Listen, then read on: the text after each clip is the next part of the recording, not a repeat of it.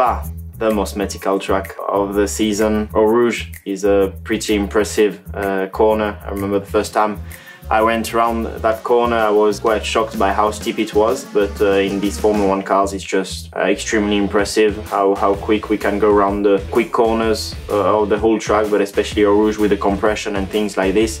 In the first lap, it's actually quite difficult physically, then you get used to it, uh, and, and during the weekend it's fine, but, but the first lap, and, and also the track walk is always a part uh, that is quite difficult.